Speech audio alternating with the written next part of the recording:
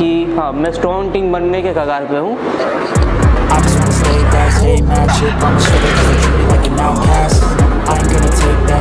Eventually यही मेरे चार वो लेकिन वर्कआउट है, जिसने मेरे स्ट्रेंथ को मैसेज किया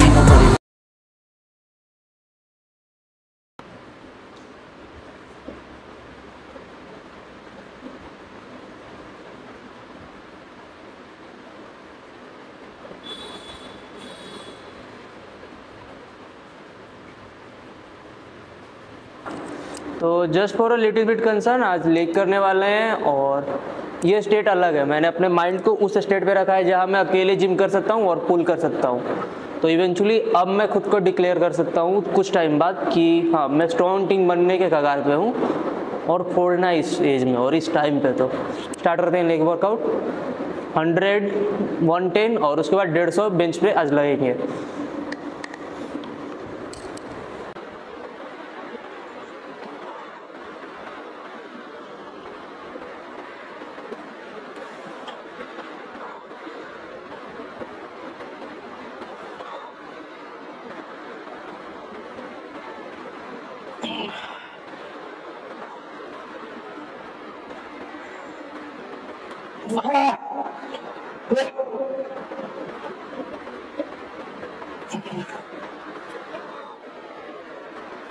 काफ़ी टाइम हो गया मुझे ऐसे लेग सेशंस निकालते हुए। इवेंचुअली बोलूँ तो हाँ लेग स्ट्रेंथ बहुत ग्रो कर रहा है मेरा और मैं अभी इसको बहुत मैसिव ग्रो करने वाला हूँ।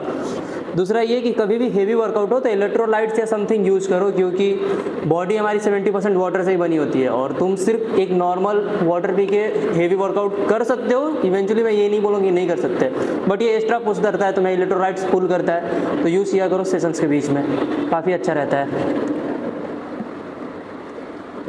फॉर इंस्टेंट रिहैब और ज़्यादा रिकवरी के लिए।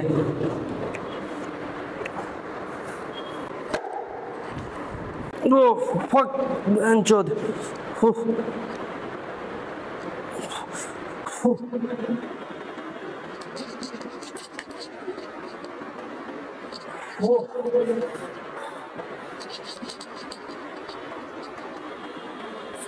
Ah!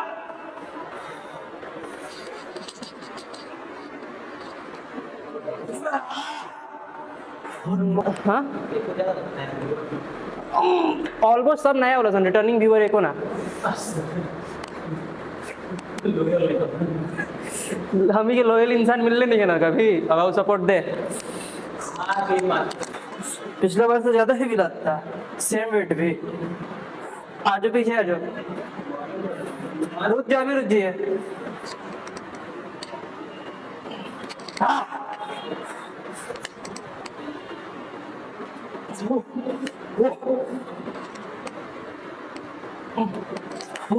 ना छोड़ दे।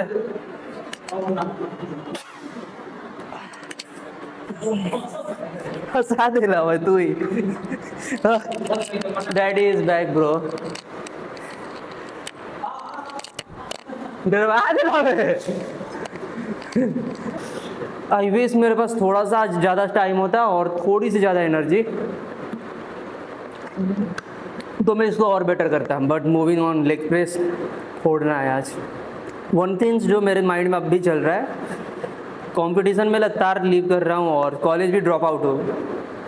तो इन मोमेंट्स को और इन जो पर्टिकुलर टाइम्स है इनमें मुझे खुद को प्रूव करना है कि क्या ये वर्थ इट था जो मैंने किया। और टू बी ऑनेस्ट मैं इसको बहुत ज़्यादा वर्थ इट बनाऊँगा। Come on, idiots. No. दस ग्यारह वन मोर बारह लिटिल बिट ऊपर. क्लोज रखो क्लोज इन रेंज इसको फ्लैट नहीं, सीधा रखो और क्लोज स्मारक कंट्रोल के साथ जितना स्लो ला सकते हो, उतना. इतना भी नहीं कि फ़िल्म बन जाए स्लो मोशन का लिटिल लिटिल हाथ दुखा वेट उठेला से हाथ दुखा जाता।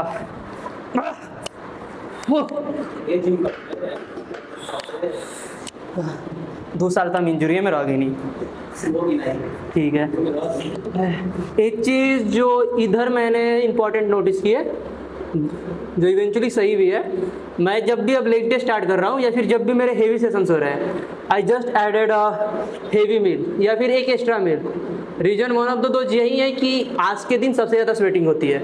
तो एक एक्स्ट्रा डाइट उसको बैलेंस करने के लिए या फिर उसको हाई डेफिसिट पे रखने के लिए इंपॉर्टेंट है। इसको बढ़ा चढ़ा के नहीं बोलूँगा। सिंपल से एक बात बोलता हूँ कि लेग डे के दिन सबसे ज़्यादा बॉडी से एनर्जी निकलती है। तो एक चीज़ तो माइंड में रखना कि उस दिन तुम्हें एक एक्स्ट्रा डाइट या फिर कुछ ऐसा रखना पड़ेगा जो उसको फिलफिल कर सकते हैं। और एक सवाल जो भी मेरे माइंड में आया। एक मोमेंट था जब पाँच के जी पे स्ट्रगल कर रहे थे। हर एक जिम रैट के माइंड में आता होगा। और अब पूरा जिम का हेवी प्लेट लगाने के बाद भी इजीली बारह रैप निकल रहे हैं। It's feel like a great bro gym के सारे प्लेट्स उठा के भी और इजीली लग रहे हैं तो हर एक जिम रैट का ये मोमेंट और ये सपना होता है, जो मैं अभी जी रहा हूँ रियलिटी में।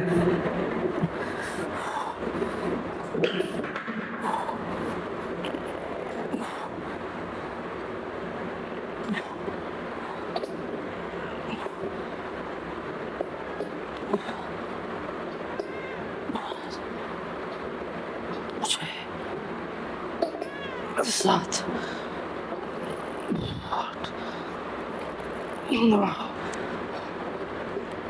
दस। वन मोर ग्यारह। वन मोर बारह। Last one second last one ये मोमेंट अलग है ब्रो जिम के सारे प्लेट्स यूज़ करो, वो भी फुल स्टैक पे। और फिर भी चौदह पंद्रह रैप ईजी निकल जाए। मैं अपने ड्रीम में ही जी रहा हूँ। Every gym rat has a dream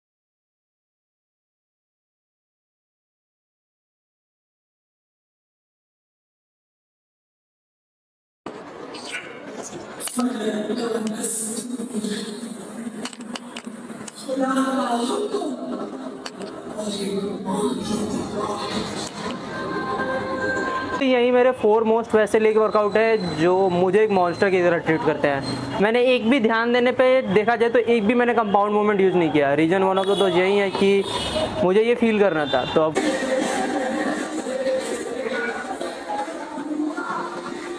proper compound proper अपनी बॉडी तोड़ा इसमें। और आई फील लाइक बीस्ट पैर अब भी लिटरली हल्की फुल्की सेकिंग में है। बट वो स्टेज ही मज़ा आता है लेट डे फील करने में।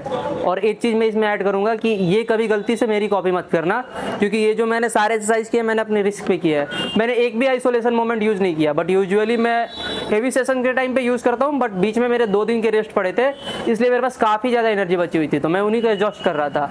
तो ऐसा यही सेशन खत्म करते हैं। पोस्ट वर्कआउट में वे प्रोटीन बना के हम निकलते हैं। बट एक चीज़ हमेशा माइंड में रखना कि अपनी बॉडी को उतना ही रिहैब दो और उतना ही ट्रीट करो ताकि तुम्हें प्रॉब्लम ना हो। अब खत्म करते हैं।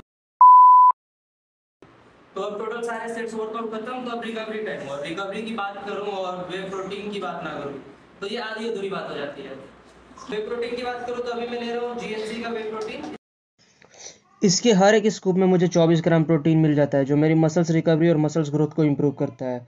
विथ इन्हेंसिंग माई स्ट्रेंथ और स्टेमिना मैं लास्ट के एट साल से इसे यूज़ कर रहा हूँ। इसका कोई साइड इफ़ेक्ट नहीं है। ईजी टू डाइजेस्ट है without any bloating interesting fact ये है कि इसके आठ डिफरेंट फ्लेवर्स मार्केट में अवेलेबल है, जिसमें से मेरा फेवरेट है चॉकलेट फ्लेवर तो अगर आपको बजट में और सही वे प्रोटीन चाहिए तो मैं रिकमेंड करूँगा कि एक बार GNC का वे प्रोटीन ट्राई कर लें, क्योंकि इसकी लेगेसी पचासी साल से भी ऊपर हो चुकी है और इसके हर एक प्रोडक्ट यूएसए से फॉर्मुलेटेड होता है।